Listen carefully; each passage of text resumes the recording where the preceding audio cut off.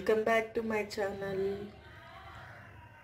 kadai chicken masala gravy curry ఎలా prepare చేసుకోవాలో దాని ప్రాసెస్ చూద్దాం. ఇలా అల్యూమినియం కడాయిలో వన్ టీ స్పూన్ ధనియాలు హాఫ్ టీ స్పూన్ జీలకర్ర half teaspoon pepper half teaspoon సోంపు ఎండుమిర్చి. ఇలా అల్యూమినియం కడాయిలో డ్రై రోస్ట్ చేసుకోవాలి. స్టవ్ ఆఫ్ చేసుకుందాం. పూర్తిగా చల్లారిపోయింది. మిక్సీ జార్లో బ్లెండ్ చేసుకుందాం పౌడర్. చూసారు కదా ఇలా స్మూత్గా బ్లెండ్ చేసుకుందాం. చికెన్ హాఫ్ కేజీ శుభ్రంగా టూ త్రీ టైమ్స్ కడుక్కున్నది. ఇలా కడాయిలో టూ స్పూన్స్ ఆయిల్ హీట్ అవనిచ్చుకుందాం. ఆయిల్ హీట్ అయింది కదా ఆనియన్ పెటల్స్. ఇలా పెటల్స్లో కట్ చేసుకోవాలి ఆనియన్స్ని. అలానే capsicum cubes onion and capsicum కంప్లీట్గా ఫ్రై అవసరం లేదు. ఒక fifty fifty or sixty percent fry అయితే సరిపోతుంది. వేరే ప్లేట్లోకి పెట్టేసుకుందాం.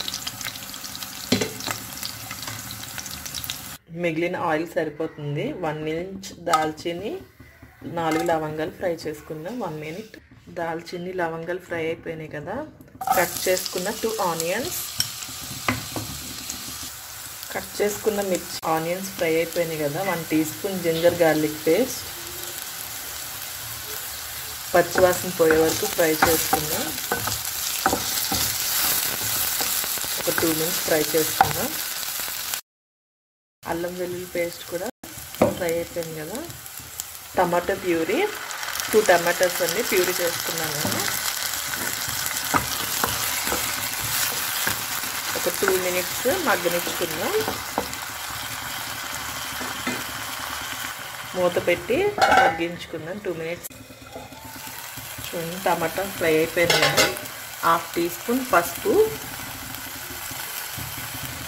two spoons chilli powder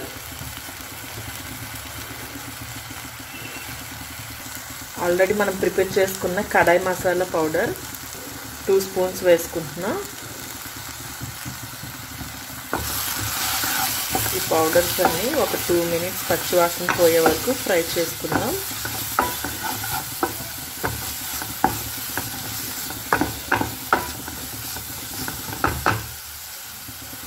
మూత పెట్టి టూ మినిట్స్ మగ్గించుకుందాం. లో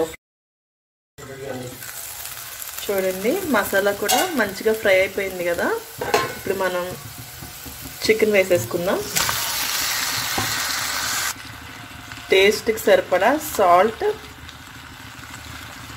అంతా ఒకసారి మిక్స్ చేసుకుందాం అండి. చూసారు కదా అంతా బాగా కలిపేసుకున్నాం. మూత పెట్టి లో ఫ్లేమ్లో మధ్య మధ్యలో కలుపుతూ ఒక టెన్ మినిట్స్ కుక్ చేసుకున్నాం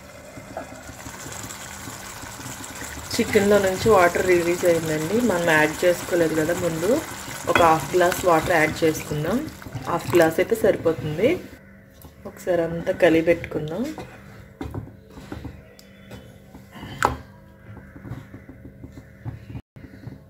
మీడియం ఫ్లేమ్లో ఒక ఫైవ్ మినిట్స్ కుక్ చేసుకుందాం.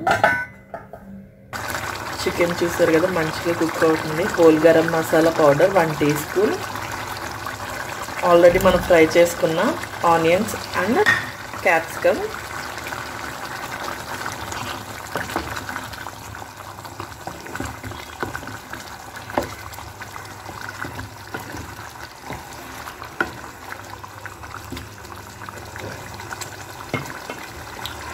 మూత పెట్టి మీడియం ఫ్లేమ్లో ఒక ఫైవ్ మినిట్స్ కుక్ చేసేసుకుందాం. చూడండి మంచిగా కుక్ అయిపోయింది కదా ఫైనల్గా ఫ్రెష్ క్రీమ్. చాప్ చేసుకున్న కొత్తిమీర.